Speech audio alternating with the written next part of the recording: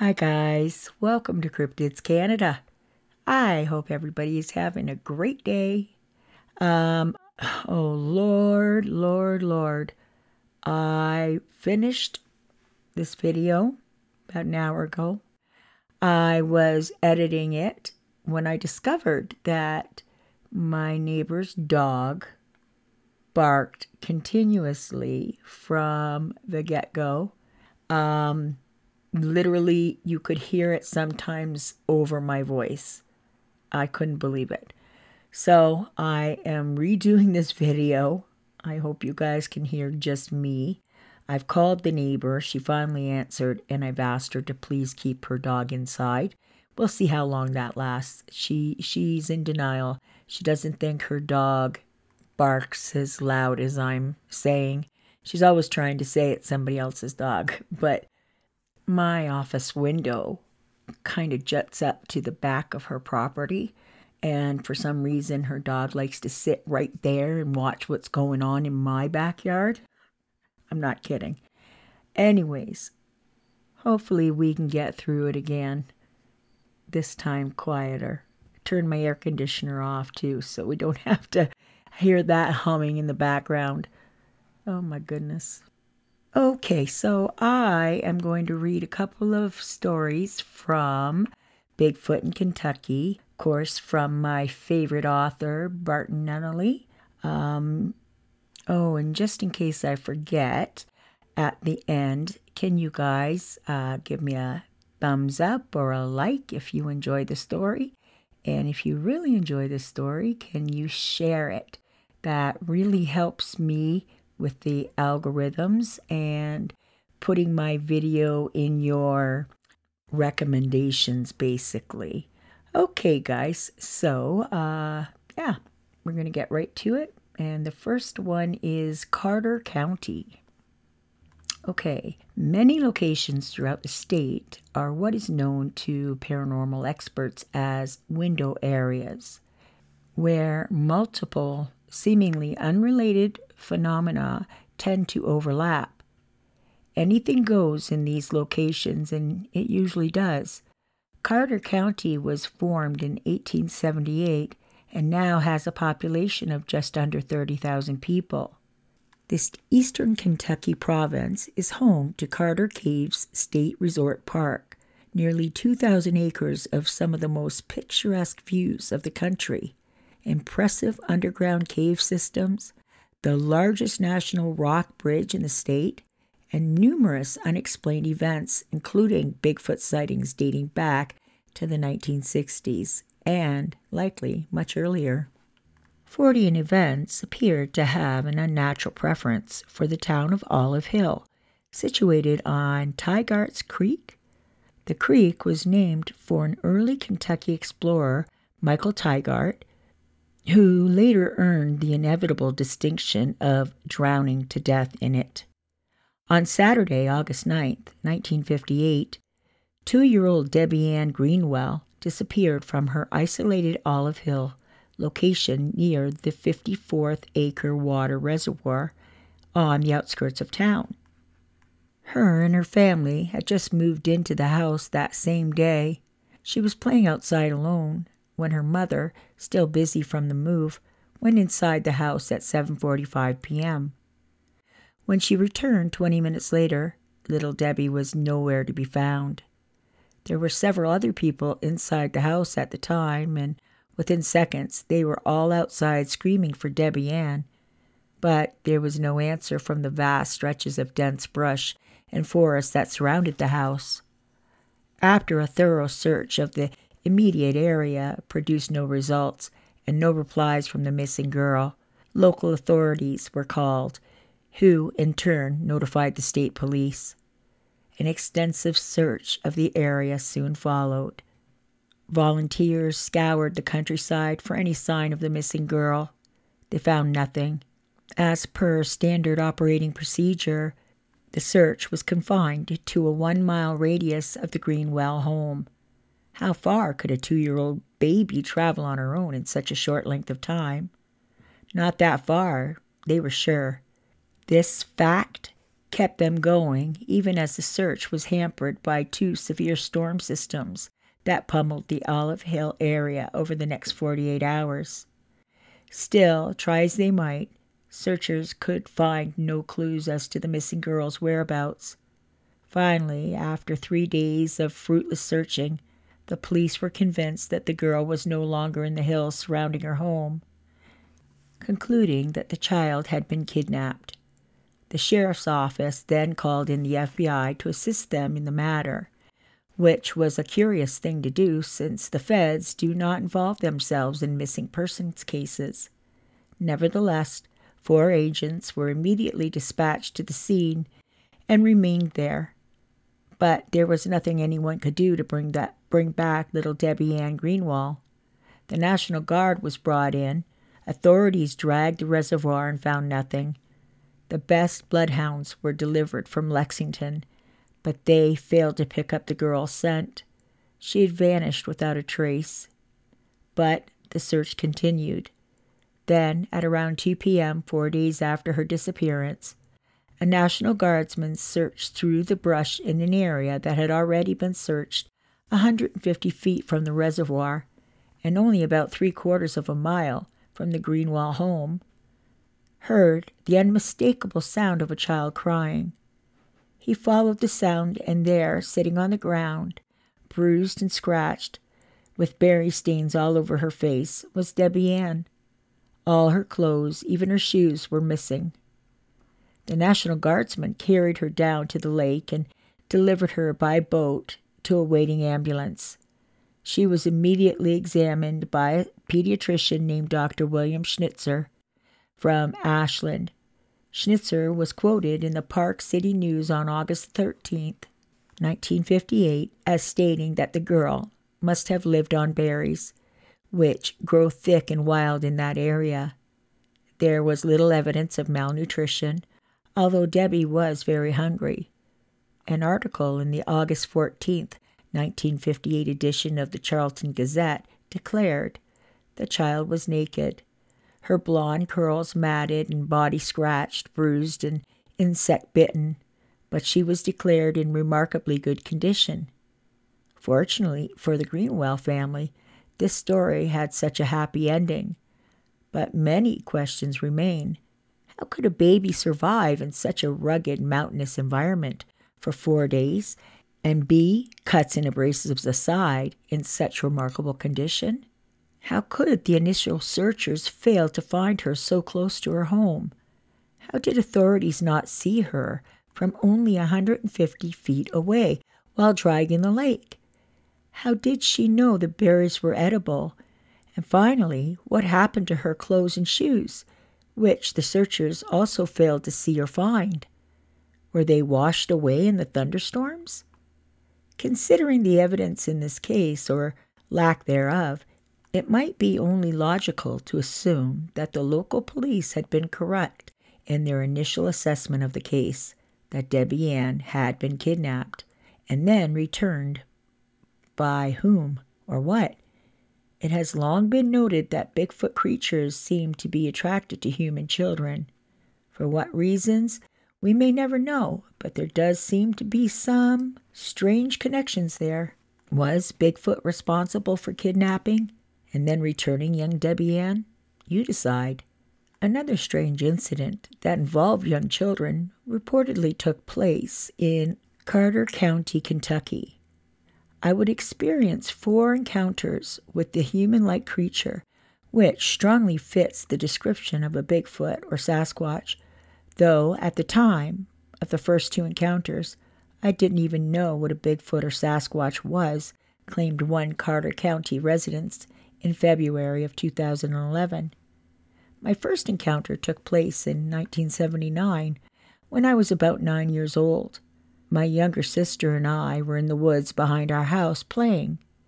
We had been swinging on a vine, going from one side of a draw to the other, my sister slipped on the vine, causing severe rope burns in her hands, and she fell down into the draw and started crying. I helped her climb up the side of the draw, and we sat down on the edge and tried to clean the bark out of my sister's palms, which only intensified her crying. When suddenly we both heard what we thought was someone running down the draw next to the one that we were in. Though we both looked in the same direction at the same time, neither one of us saw anything.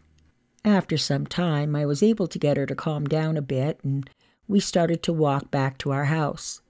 We were moving slowly and had walked only a few minutes when we heard something walk a short distance away from us, though we kept turning around to look and never saw anything. Being kids, this made us pick up our pace, which was matched by whatever was following us. As we approached the edge of the woods, I told my sister to run which we both did. However, at the edge of the woods was a small rock face about twice as tall as we were that we had to climb down.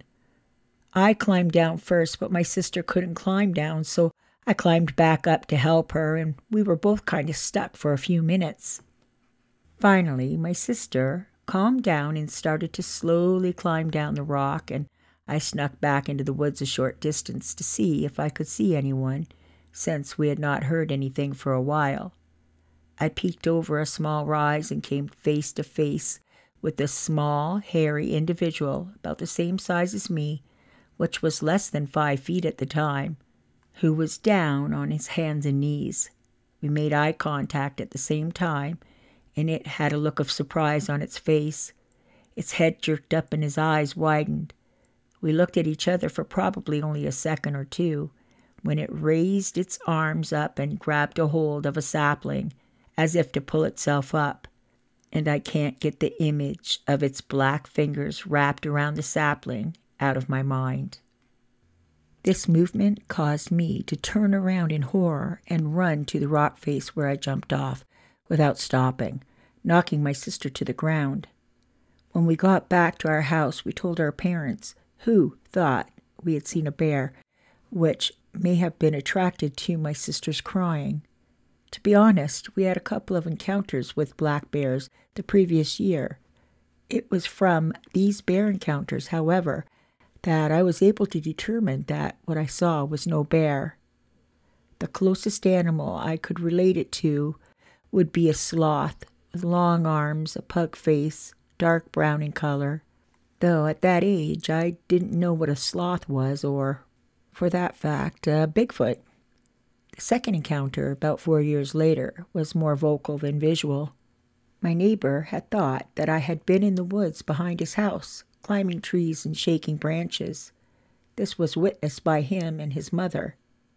When he asked me about it, I told him that it wasn't me, and I asked him to show me where it was. We got to the location and did not see anything and continued our trek further up the hill and deeper into the woods. We were just about to crest the ridge of the hill when, from the top of the ridge, came a very loud growl slash howl, followed by a deep, loud grunt. This was followed by shaking of two trees, which were about four inches in diameter, much bigger than a sapling, but not big enough to cut for firewood either. Though these trees were not big, you could tell it would take a lot of force to make them move like that. As this was happening, I looked at my sister, who was frozen in what could only be described as sheer terror, which meant to me that it was no joke, and something very real or very big was up there. I decided to make a run for it and was quickly joined by my neighbor. Once we started running, though, the noise and shaking stopped. My neighbor would never talk about the event after that, and it would be years before I could get him to go into the woods. But he would never go past where he was able to see his house. Again, once I told my dad, he thought it was a bear, and when I showed him the location, he could see a lot of disturbance on the ground, but no tracks. The next notable incident happened over a span of a fall and spring seasons of my freshman year. Due to a certain circumstance, I would be left off the bus at the beginning of the road I lived on and would walk the rest of the way home. After a couple of weeks of this, I thought I was hearing someone walking parallel to me up on the hill in the woods.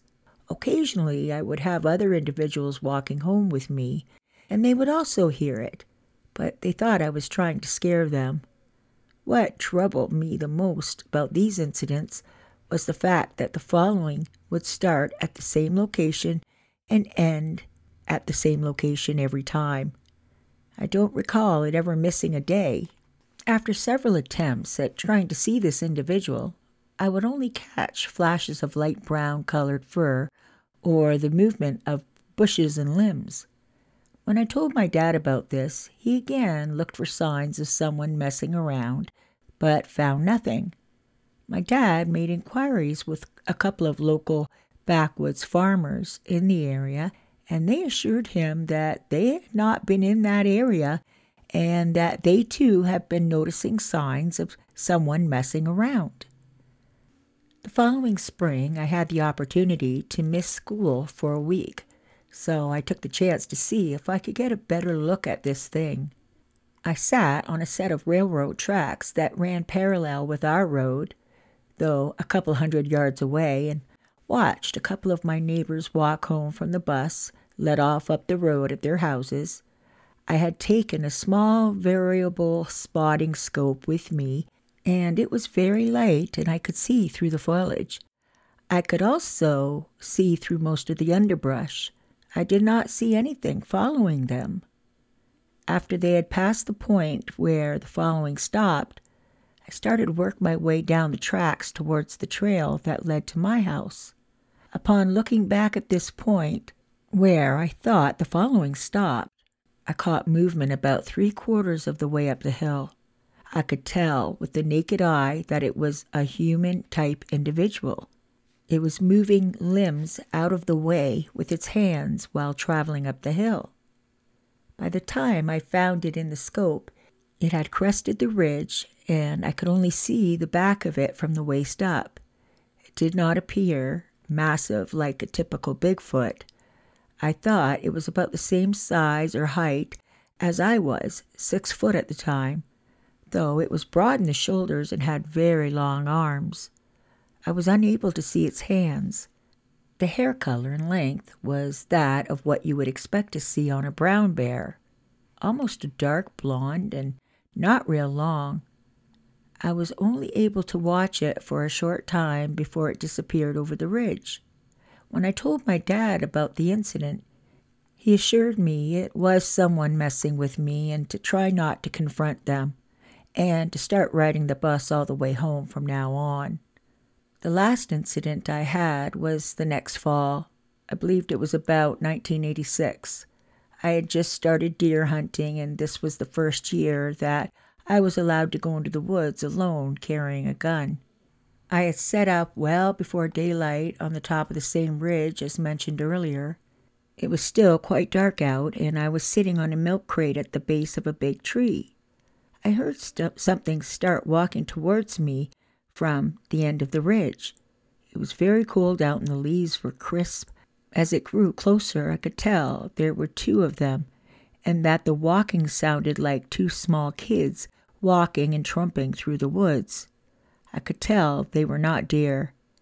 They stopped just short of me being able to make them out if they, have, if they had spotted me and I didn't hear any further movement from them until something else came down the ridge towards us a few seconds later. I could tell this thing was walking on two legs and sounded much larger than the other two. It reached the area the other two were at and then stopped. They remained silent for what I felt like was several minutes until the two smaller ones started walking back in the same direction they had come from only this time they did not zigzag. They kept in a straight line. The larger one stayed motionless until the other two were almost out of hearing range.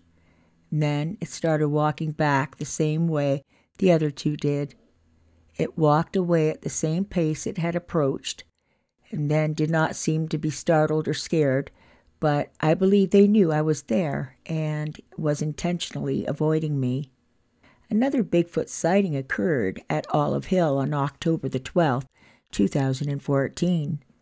It was at 6 a.m., and the witness was sitting on the back deck of his secluded cabin on Sand Ridge Road. He had been told that there were some monster bucks in the woods and had previously set out a salt lick near his pond in hopes of drawing the deer in close enough to get a glimpse of them. He was sitting there quietly when a large object came into view about forty yards away, walking across his property from left to right. At first, he thought it was a bear, as they had been seen in, in the area on previous occasions, but then he saw the figure was walking upright and carrying the block of salt in his hands. It kept walking without hesitation, never turning in the witness's direction until it disappeared into the woods.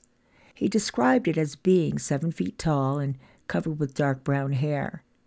It had a conical head, like a primate, he said, and big muscular arms. It also had a four foot wide shoulders and arms that were longer than most humans. The part of his face that he had been able to see was a dark and hairless. He had been hearing strange noises coming from the woods late at night and for some time before the incident, but had written them off as coyotes. The cabin is surrounded by 2,000 acres of dense forests. On November 11, 2013, Tabitha Stagel and her son were outside their home in Grahn, Kentucky, when they heard a bizarre noise like a siren coming from the woods. But it was no siren. Stagel dashed into the house and grabbed her cell phone. Once back outside, she succeeded in recording several of the strange vocalizations and later sent them to a local Bigfoot research group who concluded that they were likely from a Sasquatch. But Stagel already knew this. She'd encountered the creatures in the area before in the late 1990s.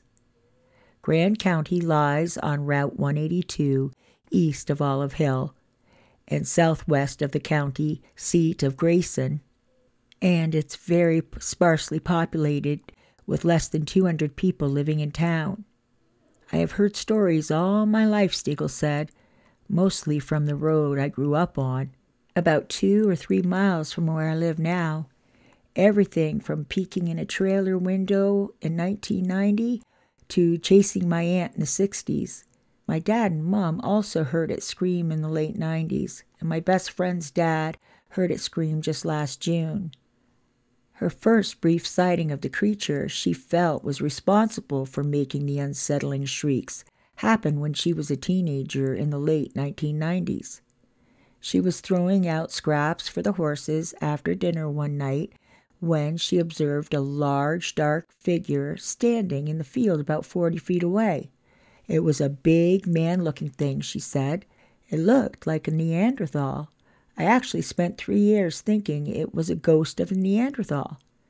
It was just standing there in the moonlight, completely still, watching her. She screamed and ran back inside to tell her dad, but by the time they came out to look for it, with a gun and flashlight in hand, it was already gone. Her second sighting occurred just a short time later on February the 8th, 1998. In February of 1998, we had a huge ice storm, she wrote. I remember it so well because my sister had got hit by a car on February 2nd and only suffered a hurt leg, thankfully. And the storm came later that night. We lost power for six days. Everything we had in the deep freeze went bad, and my dad had stacked it up and put it outside to throw out later. We had to cook out with a grill to feed my family all week. I think the smell of the spoiled food may have drawn him in. That night, the electricity came back on, and me and my dad were watching TV, and the porch light was on. I glanced at the window and saw what looked like a man carrying our bag of meat, and that's when I screamed. Some man is stealing our rotten meat. I saw it run up the steps, and it had black, hairy legs. I could see the hair was attached to the body as it moved. I don't know if I would say I saw muscles, but more so, it wasn't saggy. Anyway, the porch light didn't light up the whole steps, so it was gone and out of sight pretty quickly. My dad and me jumped up, and we could hear it crashing through the woods about fifty feet up in the woods, and then it was silent. I'm assuming it jumped a fence and went into the neighbor's cow field, where it would make less noise while making its escape. The next morning, her dad found the bag and all the meat was gone, but the butter and the french fries were still in the bag. The bag was opened, as if by hand and not torn or shredded as it might be expected of an animal or any description that had come into its possession. I feel pretty lucky to have seen what I've seen, she stated, but I don't know if luck has anything to do with it when you live in Grahn. I think we are surrounded by them. I think she may be right. On February 24th, 2011, another Carter County woman, this time over in Grayson, claimed that she and her husband had seen a similar creature one evening as they were returning to their home on Evermans Creek Road, and it had scared them to death.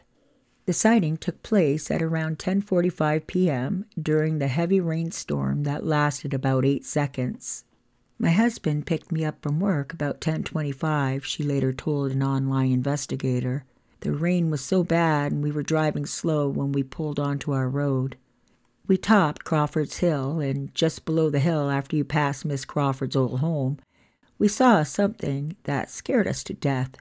My husband was driving an extended cab truck, and from where I was sitting, whatever it was, was standing eight feet tall, with long arms stretching out and grabbing the trees to pull itself up. It was on the right hand side of the road. We were too scared to stop at that moment. I wanted to go back and take pictures. I have always been told stories of creatures here on this road a lot of people have seen it. It was standing only 30 feet from her side of the truck. She described it as dark brown in color and massive. As it grabbed the tree and pulled itself up to the roadside embankment, its long dark hair was wet and matted from the rain, hanging down about six inches from the figure's huge arm, which resembled an orangutan. It had its back to the two witnesses, and its head was hunched down low like it was trying to hide its face from the vehicle lights. While speaking with the investigator, she also confessed that she had seen another such creature in the area years before when she was about 11 years old. It was standing motionless beside the road as her and her future husband drove by. Unlike the aforementioned incident, the creature was covered in solid white hair. Both witnesses claimed to know several other people who have encountered these things in the area as well. Our final Carter County case involved an entire family, which included five young children who endured years of terrifying brushes with the unknown, including large, man like creatures which always seemed to stay just out of sight. The following testimony is from one who lived in such a place. The time was 1980 to 1983. The location, six miles east of Grayson, Kentucky, Carter County, on US 60 and State Road 207. I lived in Carter County, Kentucky, in a small community named Rush. I lived in a small hollow with a partially graveled lane that dead ended at my driveway. This land is hills with pine oak and other common eastern Kentucky trees and brush growth. The land has strip mines with several ponds scattered through it. There are houses and small family type farms. In 1980, we, my wife, and five children, moved to the undeveloped 50 plus acres that belonged to my wife's father until his death in 1973. We have lived here for about two to three months when I started hearing things that made me a little uncomfortable, but not frightened. There were nights the dogs would bark and carry on, but would not go after whatever it was they were barking at. And we, the entire family, would even run and hide when it came too close to the house.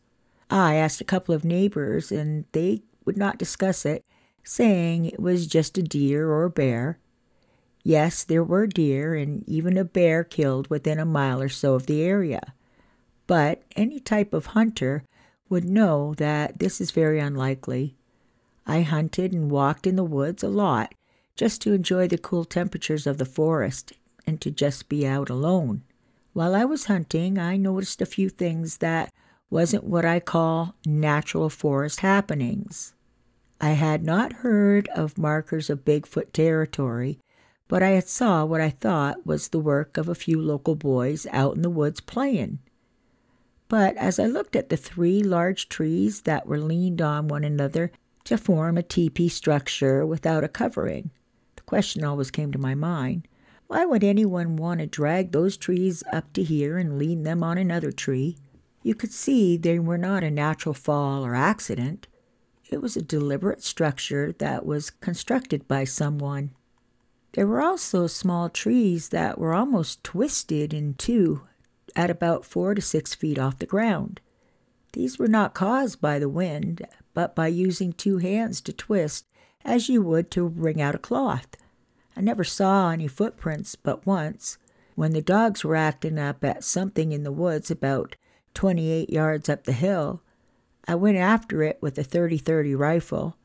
It was about 11 o'clock at night in the early winter or late fall. There was a skift of snow on the ground, mostly in spots on the hill. After I walked around the hill for over a mile, not getting any closer or even able to see what I was after, even though it stayed about 20 to 30 yards ahead of me, I could not see it, but I could hear it walking in the leaves and breaking branches. I decided to just go on to the house. The next morning, I walked up the hill to see what kind of tracks I could see. I found my tracks in the snow, but I couldn't find any indication of anything that was walking in front of me or around me. I have seen eyes that look blood red and another time green as they were looking at me from low underbrush at night. While sitting on the porch at night, I would hear what, at the time, I thought sounded a little like an old steam locomotive whistle, but not quite the same.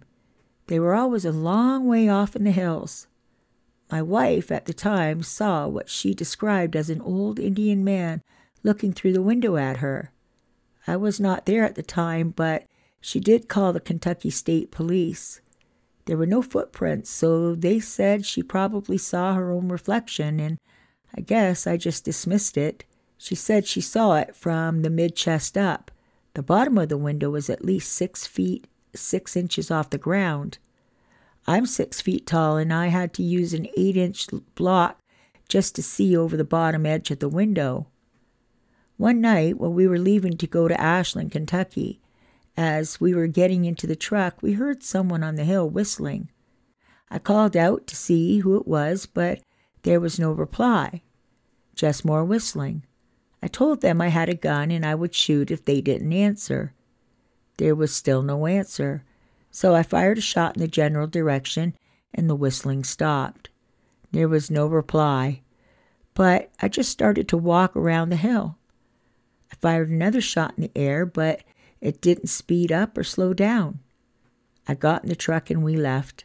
I never had a sighting, but all these things and a few more, such as throwing rocks and pieces of wood, has convinced me that there's something that's intelligent enough to stay so close and still so undetective, is living within our backyards. My son and his girlfriend claim to have had a visual of it about three or four years ago.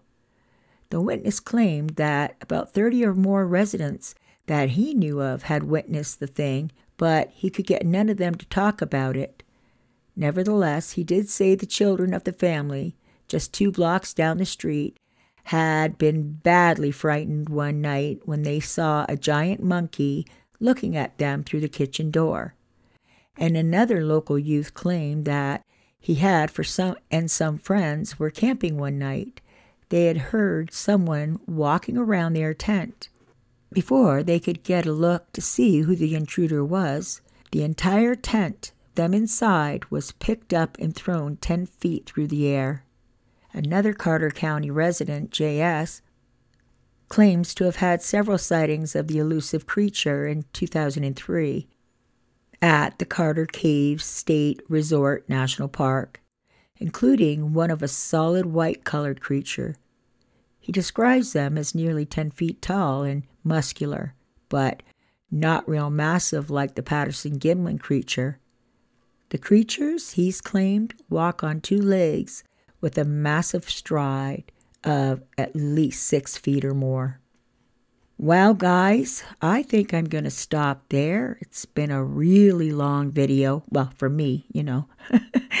I enjoyed this a lot. Uh, I love these stories. I can't get enough of them. And I wish you guys would go and check them out at least. Um, I'll leave a description, there are links in the description box. You can go check them out. And if you, uh, they're really inexpensive to buy, I would uh, at least go check them out. Okay, guys, you know I love you. Please be kind and take care of each other. And remember to take care of yourself. You all have a really great evening. And don't forget to hit that like button and don't forget to send in your stories. I hope to see you back here in a couple of days. Bye bye for now.